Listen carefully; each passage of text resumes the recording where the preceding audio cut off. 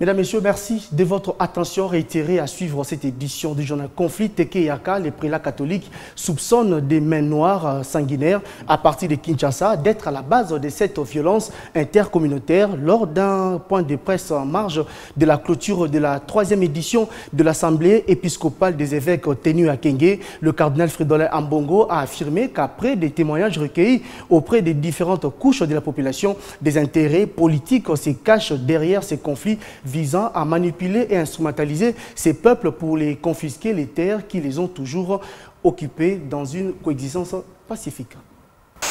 Le peuple du Kwango mérite mieux. Le peuple du Kwilu mérite mieux. Le peuple de Kwamut, considération. Or, aujourd'hui, ce peuple est en train de vivre comme un animal traqué dans son propre village. Ça, et les manipulateurs que nous connaissons tous,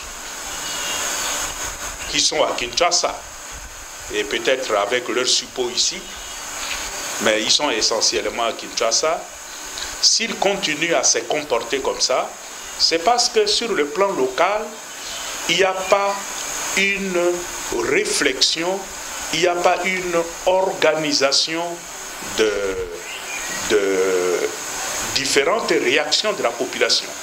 Et ils trouvent devant eux un terrain vide. Ils peuvent régner sur nous comme ils veulent.